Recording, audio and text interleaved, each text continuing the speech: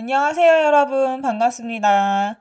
스크래치 게임 만들기 오늘 만들어 볼 게임은 로또 게임입니다. 고양이가 순서대로 숫자를 말하면서 어, 6개의 랜덤 값을 불러줄 거예요. 우리 로또 숫자가 1에서부터 45까지 6개의 숫자로 이루어져 있기 때문에 그거랑 똑같이 한번 만들어 봤습니다. 시작을 해볼게요. 자, 오늘의 로또 번호는 40, 35, 20, 4, 32, 36, 6가지입니다. 라고 말을 해주는 겁니다. 간단해 보이지만 꽤나 복잡한 코드가 활용되기 때문에 집중을 해서 들으셔야 돼요.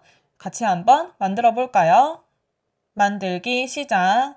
오늘은 스프라이트는 고양이 한 마리만 있으면 되니까 그대로 두고 무대를 추가를 해줍니다. 무대는 이렇게 스테이지 위에 있는 고양이를 만들어 줄게요.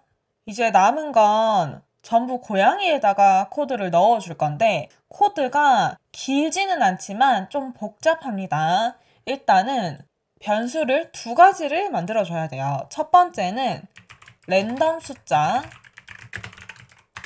그리고 두 번째는 순서입니다. 자, 어떻게 사용될지는 제가 이따가 천천히 하나씩 설명을 드릴게요. 그리고 리스트도 하나 필요한데 이름은 로또 리스트라고 만들어 줄게요. 클릭했을 때에는 이 로또 리스트를 항상 비우고 시작을 할 겁니다.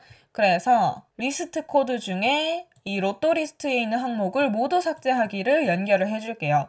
지금은 비어 있지만 한번 실행을 하고 난 다음에는 여기에 로또 번호가 6개가 들어갈 거고 새로 시작할 때는 그거를 싹 비워주는 코드입니다. 그리고 이 랜덤 숫자에는 이름 그대로 로또 번호를 랜덤으로 만들어 줄 거예요. 번호가 제가 알기로는 1에서부터 45로 알고 있기 때문에 1부터 45 사이의 난수를 만들어 줍니다.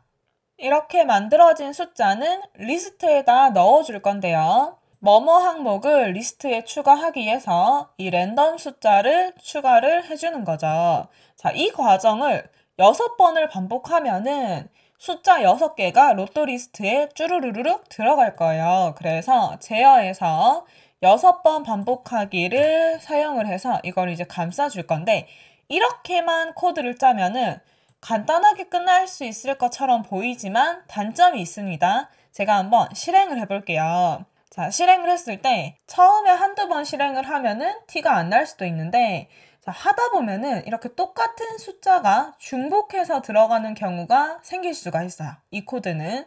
그래서 여기서 코드를 조금 더 발전시켜서 같은 숫자는 리스트 안에 못 들어가게 하는 걸 해보도록 하겠습니다. 그래서 이때 필요한 거는 뭐뭐까지 반복하기를 사용을 할 건데 내가 앞에서 만들었던 이 숫자가 리스트에 있는지 없는지를 검사를 하고 없을 때만 추가를 하는 거예요. 이미 37이 있었다면은 그 37은 다시 한 번 더 추가를 하지 않겠다는 그런 의미인데 코드로 만들게 되면은 리스트에서 뭐뭐를 포함하는가 라는 거를 랜덤 숫자를 넣어서 확인을 해보는 겁니다.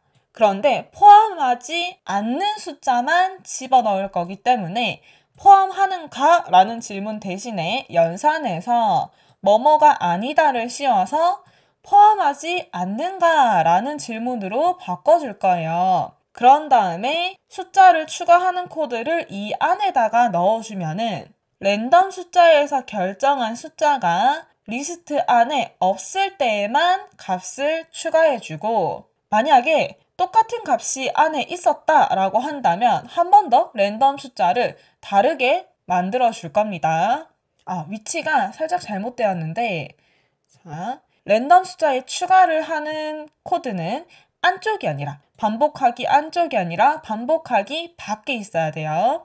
그래서 정리를 하자면 숫자를 만들었는데 그 숫자가 리스트 안에 없을 때만 추가를 하고 만약에 이 조건이 거짓, 그러니까 똑같은 숫자가 있었다라고 한다면 숫자를 바꿔서 다른 랜덤 값으로 만들어서 중복되지 않는 값이 나올 때까지 검사를 하는 거예요.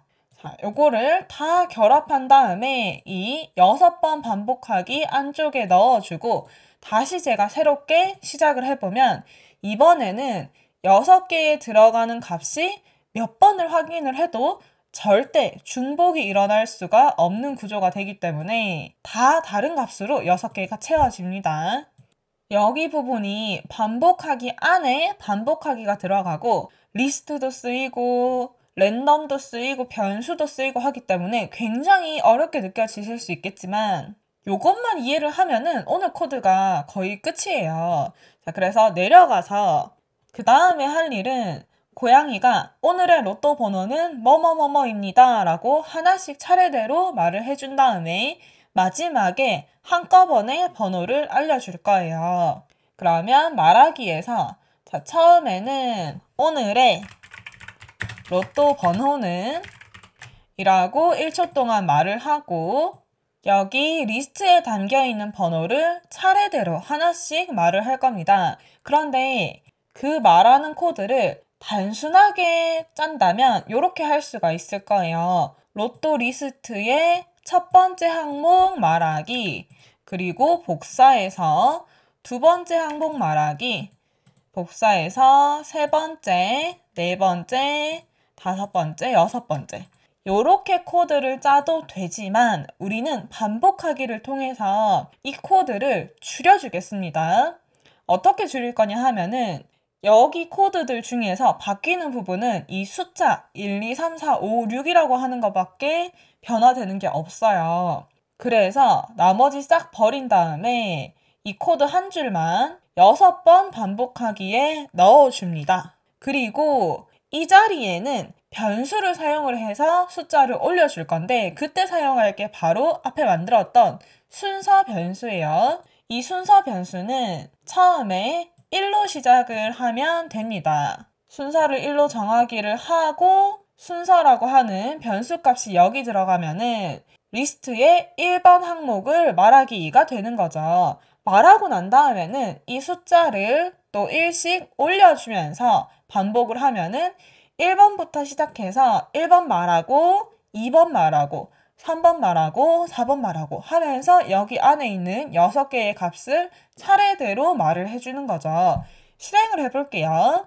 첫 번째 40, 42, 9, 15, 11, 12까지 리스트 안에 있는 값을 말을 하고 나면 끝이 나는 걸 볼 수가 있습니다. 이렇게 하나씩 말을 해주고 난 다음에는 한꺼번에 통째로 말하기를 해줄 건데 그때는 이 리스트의 이름을 통째로 넣으면 안에 있는 값을 한꺼번에 다 말을 할 수가 있어요. 그래서 마지막에는 이걸 결합하기를 통해서 입니다 하는 말과 결합을 해주면 순서대로 하나씩 말을 하고 마지막에는 전체가 나오면서 뭐뭐뭐뭐뭐입니다 라고 마무리를 하게 됩니다. 이 두 개를 연결해 주기만 하면은 오늘의 코드는 전체 완성이에요. 완성을 하고 난 다음에는 얘네들은 다 안 보이는 게 좋겠죠. 그래서 체크를 다 꺼주겠습니다.